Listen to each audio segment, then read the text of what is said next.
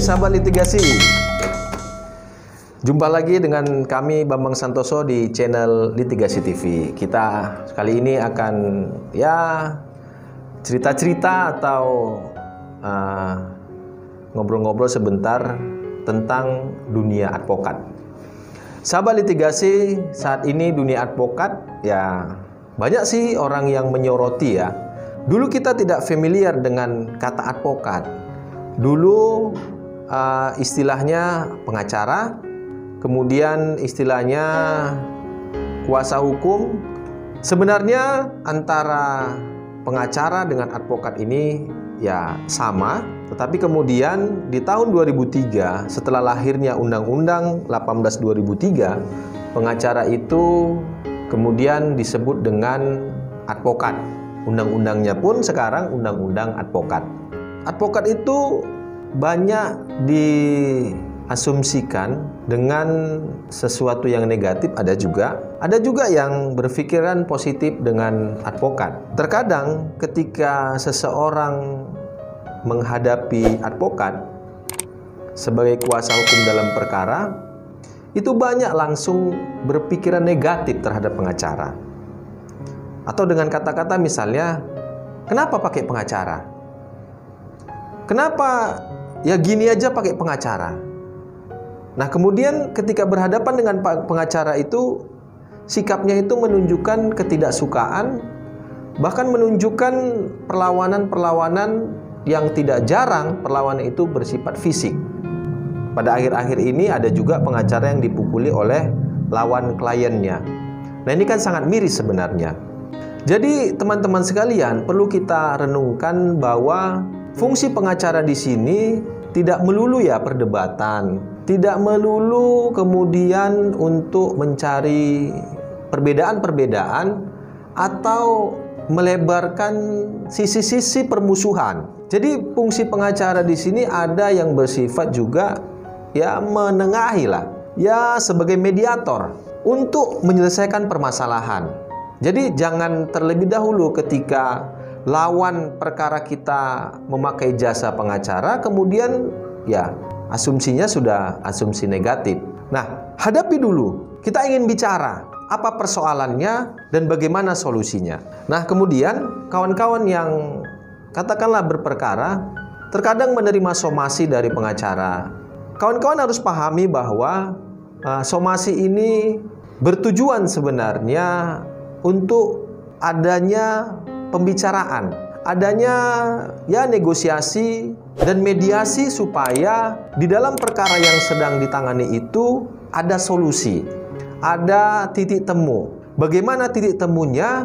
Yaitulah pembicaraan antara pengacara dengan lawannya. Maka ya, ketika jumpa dengan pengacara, harusnya berpikiran positif saja. Berpikiran bahwa kemudian bagaimana menyelesaikan perkara yang sedang ditangani, yang sedang dijalani ini selesai dengan baik, selesai dengan damai. Toh juga pengacara dapat mendamaikan dari dua orang yang berkonflik. Teman-teman sekalian, ini sebagai catatan dan renungan sepanjang kita berpraktek di dunia pengacara bahwa ya banyak sekali uh, orang-orang uh, yang kita jumpai lawan klien kita yang kita jumpai memandang negatif dengan kita. Maka haruslah berpikir positif sehingga uh, permasalahan yang sedang berjalan ini dapat terselesaikan dengan damai, dengan baik yang di dalamnya ada win-win solution. Ya perlu diketahui oleh semua ya oleh masyarakat secara keseluruhan bahwa pengacara ini tidak identik dengan kliennya. Contohnya misalnya ketika dua orang berperkara, salah satunya memakai jasa lawyer, kemudian salah satunya tidak, yang tidak pakai pengacara, jangan berpikir dong bahwa sifat-sifat yang ada di dalam kliennya kemudian dilimpahkan itu kepada pengacaranya. Atau katakanlah perselisihan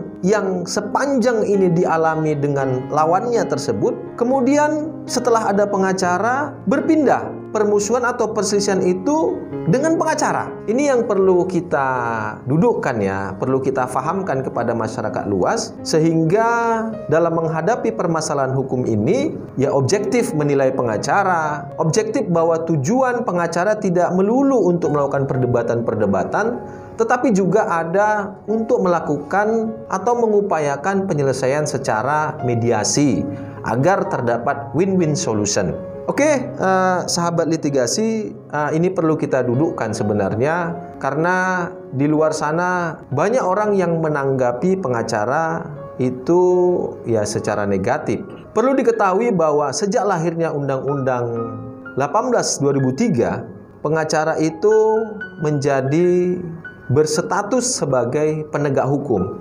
Nah, penegak hukum di sini ya layaknya penegak hukum lain seperti kepolisian, seperti jaksa dan hakim. Jadi kedudukannya setara karena seluruhnya adalah penegak hukum. Semua berjalan seperti tugas dan fungsinya. Kalau penyidik dan jaksa tugasnya memang ya kita katakan menyidik. Kalau kepolisian atau penyidik itu ya tugasnya menyidik.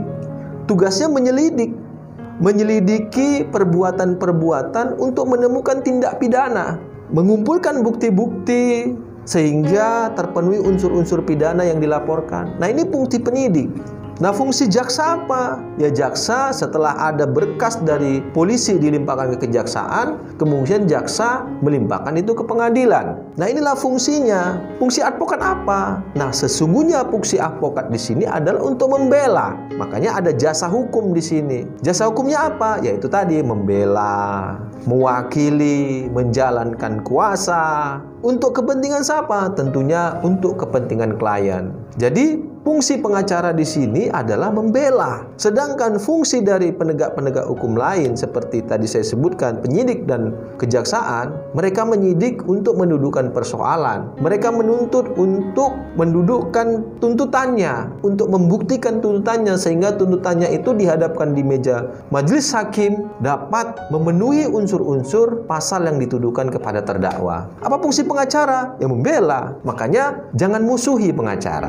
Jangan anggap negatif pengacara karena pengacara, advokat itu tugasnya membela. Apakah dia bersalah? Apakah tidak bersalah? Harus dibela. Tapi ingat, kadang-kadang ada juga Famio yang mengatakan, "Walah salah kok dibela." Nah, ini juga bahwa siapa pun dia, tentunya yang dihadapkan di meja persidangan itu adalah belum tentu bersalah. Makanya di kita, di hukum kita memiliki asas praduga tidak bersalah, presumption of innocence.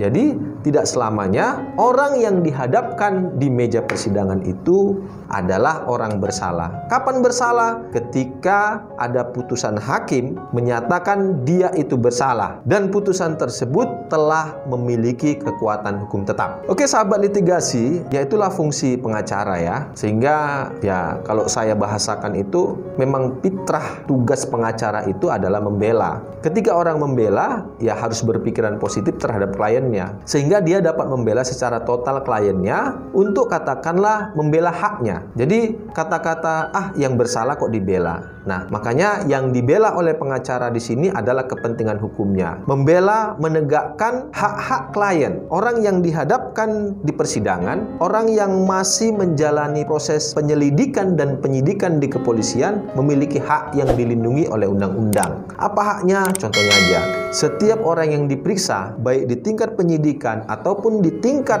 pengadilan itu memiliki hak untuk memberikan keterangan secara bebas tanpa ada paksaan maupun tekanan. Nah, untuk menjamin hak ini, salah satu fungsinya diemban oleh pengacara. Katakanlah ketika diperiksa polisi, ketika ada pertanyaan-pertanyaan yang tidak mampu atau ada perasaan-perasaan tertekan, maka di sini pengacara harus tampil. Maka di sini pengacara ya harus mengkonfirmasinya sehingga tekanan-tekanan itu tidak ada. Nah, kemudian yang perlu digarisbawahi lagi bahwa jangan ketika ada persoalan kemudian datang ke pengacara, tetapi upayakan, upayakan sebelum melakukan kegiatan-kegiatan bisnis dan lain sebagainya, ya pakailah jasa konsultan hukum untuk menilai, melihat dan merencanakan perbuatan-perbuatan agar tidak bersinggungan, agar tidak melanggar hukum. Nah, ini kan sangat perlu karena ya permasalahan hukum itu ya kita lihat sangat pelik ya, sangat menyita energi, sangat menyita materi, pikiran dan sebagainya. Sehingga alangkah baiknya seperti ya seperti uh, istilah-istilah petuah-petuah orang tua kita dulu bahwa mencegah itu lebih baik daripada mengobati. Artinya sebelum terjadi cegahlah dengan berkonsultasi kepada pengacara sehingga duduk hukumnya, posisi hukumnya atau prediksi hukumnya itu dapat diberikan oleh pengacara sehingga tidak terjerat oleh permasalahan-permasalahan hukum. Oke, mungkin itu saja sahabat litigasi dan ingat pengacara adalah penegak hukum. Wassalamualaikum warahmatullahi wabarakatuh.